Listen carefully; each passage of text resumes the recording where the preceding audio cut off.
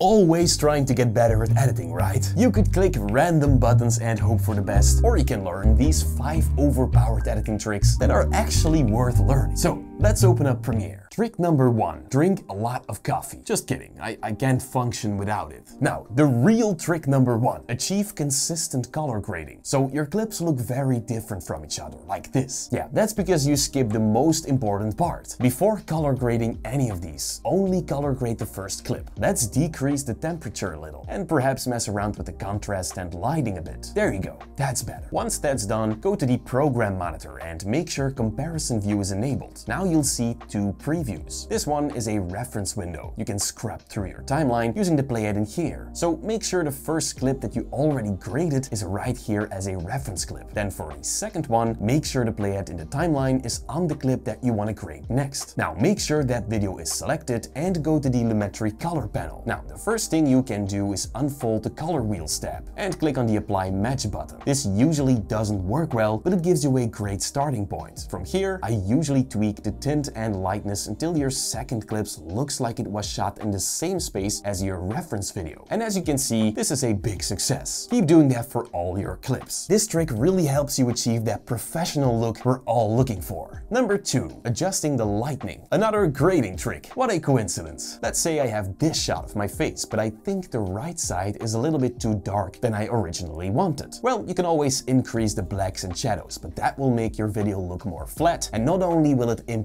your face, but also everything in the background. Instead, increase the shadows anyways, until you're happy with the result. Don't look at the background or anything. Then go to the effect controls and click the pen tool on the Lumetri color effect. That will create a mask. Now, in the program monitor, draw a mask around the dark space of your face and neck. When you close up the mask, go to the mask feather property and play around with it. Feel free to move your mask around and adjust it. Now head back to Lumetri and start playing with the lighting controls again. You can play with all of them and there you go. Your video looks perfect now. I have done this trick so much and it actually saved my footage many times. Number 3. Adding zoom effects. Now well, I actually use AutoCut for that. This is a must-have plugin for anyone who uses Premiere. So once you have it opened, you can see that there's a lot going on in here. This tool can automatically cut away silences add animated captions and so much more. But I actually want to show you auto zoom. What I always do first is disable the audio tracks I don't need. Then you want to tell AutoCut where you want the zooms to be applied. I usually make an in-out point selection in the timeline and then go back to AutoCut. Now I click in-out points or you can also apply this one on your entire timeline. Alright, click validate sections. Next you can choose a zoom rhythm. I leave this as it is, but you can make it less or more intense. Now here you can choose what triggers AutoCut to apply a zoom. Cut will always be enabled, but you can also let it zoom in when you start or stop speaking or at a specific emotion. They are using AI to find these emotional moments.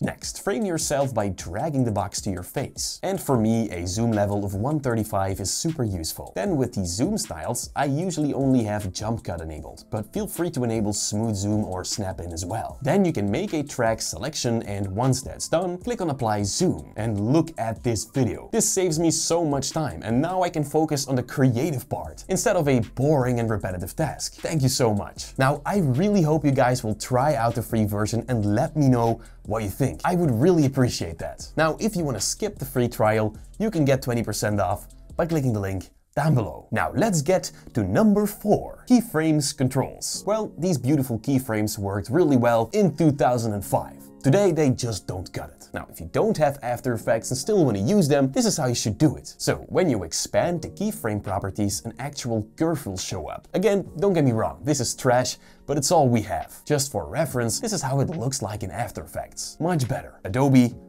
please update the curves. So, look at this simple position animation. Well, you can easily smooth it out by right-clicking the first keyframe and easing it out. Then right-clicking the last keyframe too and easing that one in. That's better already, but not amazing. Well, you can actually pull the levers of these keyframes to control the amount of easing. For example, if I pull the first one and the last one, the animation will look a lot better. But now, why is this not good? Well, for instance, it's not easy to use. I mean, look at it. Second, imagine you want to create a position position and rotation animation at the same time, like this. Well, if we want to ease these keyframes, there's no way to ease the keyframes at the same time. So your animation will always look a little bit off. In After Effects, you can just select all the keyframes that you want to ease and bam, pull the lever. It's that simple. Number 5. Use the free plugin called Portal. It's basically an empty panel, but here comes a trick. When you drag a folder with assets or music, sound effects, anything in here, you can always access that folder in Premiere, no matter which project you're in. This way you won't get any duplicates and you can always pull assets out of the same place. This has really been a lifesaver for me. Now that's not the only free plugin you should use.